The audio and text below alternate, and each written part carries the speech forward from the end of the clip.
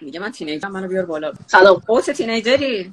آره تینیجرم. چرا استرس دارم؟ بهت نمی‌خوره استرس داشته باشی؟ نه الان طبقه زیاد میشه. چند سالته؟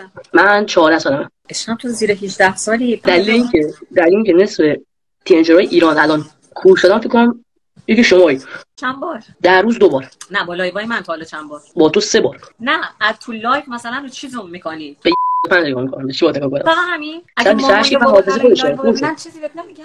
نه من هایدسوی شهاید هایدسوی هاید لایوشون کردم. نمی‌بینم واسه هم متولد 80 میشی یا 90 86 85 85 20 سال از من کوچیک‌تره نه؟ تو خیلی اصلا خفنی. تو اصلا بهترینی. نه همیشه من همیشه پیجتم خیلی خفنه. الان الان دارم فکر می‌کنم ببینم جمهوری اسلامی حق داره من مفسد فعل ارز ببره برام حکم نه دلیلش تو نیستی. دلیلش تو جمهوری. اسلامیه. ما ما داخل کف موندیم از این کار می‌کنیم. تو کفیم. تو تو تو کفی؟ تو از من بیشتر حاجی کسی نیست داخل ایران بخواد داد ما برسه. من که هستم که. خب تصور کن من مامان تو هم. خب. خب بعد می‌دونی خب. همه میشینن پای live های مامانت با مامانت زنن یعنی من. عصبی شدم ببین. خیلی هست مثلا کار میگم یه live نذاری.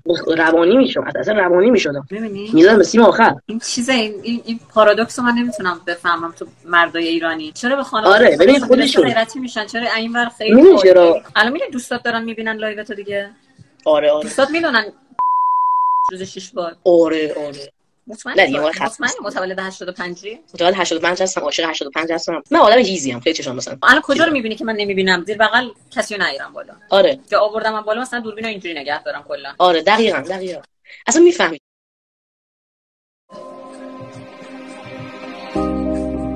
خب این سامو ببندن من حق میدم الان من مفسد فعل ارز باشم تو ایران اینا مخاطبین منن خب. نه؟ من خیلی واقعا کار درستی نمی‌کنم. من هی میپوشوندم الان اینو. من که همیشه میکشیدم پایین. هی داشتم میکشیدم بالا نامحسوس. خجالت کشیدم اصلا. من واقعا اگه همسن مادرم حامله می‌شدم بچه من بود الان. جدی دارم میگم.